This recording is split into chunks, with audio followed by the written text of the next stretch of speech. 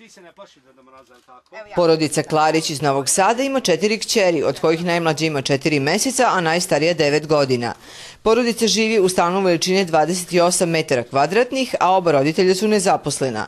Povodom dečje nedelje njima su uručeni simbolični paketi, a bit će im omogućene i besplatne sportske aktivnosti u narednih mesec dana. Prilikom posete rečeno je da će grad pomoći ovoj porodici koliko je to moguće. Na birou sam za zapošljavanje, još uvek ništa nema posla, tako da sve privatni poslovi, kratkotrajni, 5, 6 do 10 dana i to je to. Dakle, upoznaćemo se sa njihovim problemima. Ono što ja mogu da kažem, da ćemo sigurno, ne samo ovoj porodici, već i drugim porodicama koji teško žive, e, dakle, ja ću njih sada ovaj, uputiti prema Centru za socijalni rad, da odu tamo i da vide koja su njihova prava. A uglavnom znamo da za takve porodice i odvojili smo sredstva i Centar za socijalni rad ima znači svoje zakonske okvire koje moraju znači oni da і з Šestočlanu porodicu Klarić posjetili su na preporuku Centra za socijalni rad.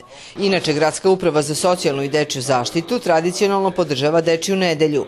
Ove godine je izdvojeno milion i šestotina hiljada dinara za programe ove manifestacije. Republičko ministarstvo je donelo odluku da e, glavna tema ove godine bude pronatalitetna politika. S tim u vezi e, Udruženja Sport Master, Zrno Slovesnost i e, Muzičko-edukativni centar Carpe Diem i Stono-teniski klub u Novom Sadu su napravili sinergiju različitih aktivnosti. Slogan ovogodišnje dečje nedelje je Mama, tata, kupite mi brata, a programi će biti završeni u nedelju 13. oktobra porodičnim karnevalom.